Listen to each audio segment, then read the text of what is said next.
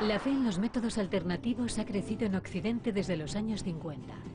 Quiero averiguar más sobre esto y por eso voy a visitar el santuario más famoso del Reino Unido.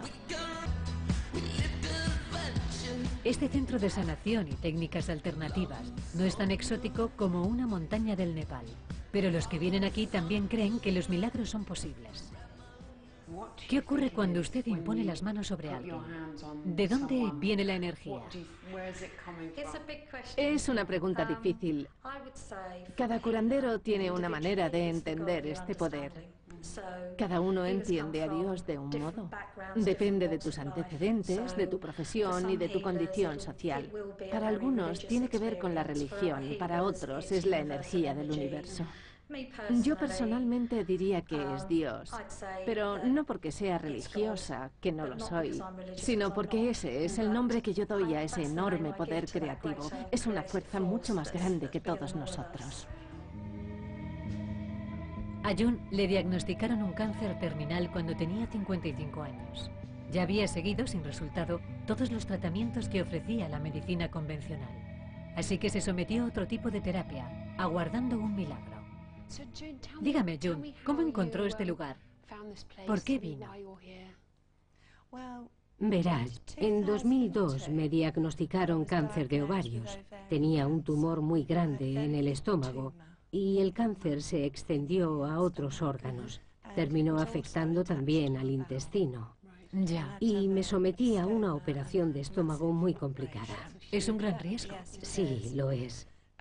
Después, cuando terminé el tratamiento, volví para hacerme un escáner y me dijeron que se había extendido por más órganos, incluido el hígado, y que solo me quedaban unas semanas de vida. Dios mío. Los chamanes que conocí en Nepal me enseñaron que la curación no es posible sin esperanza, y la esperanza era lo único que le quedaba a June.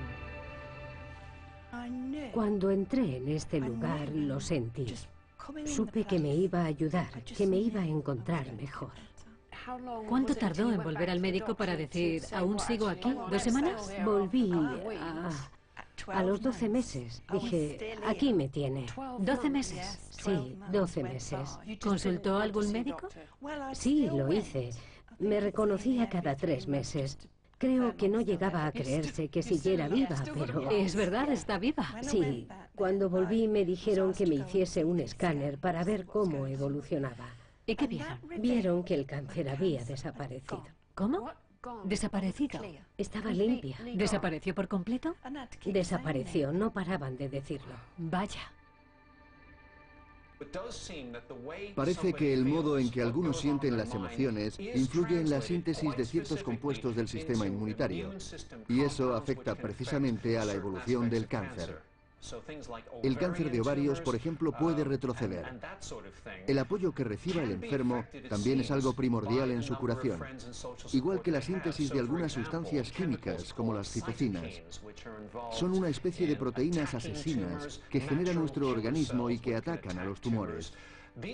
Estas sustancias pueden producirse en grandes cantidades y ser increíblemente agresivas, sobre todo si la persona tiene mucho apoyo y mucha fe. Vaya. Asombroso. Es asombroso, ¿verdad? Es un milagro.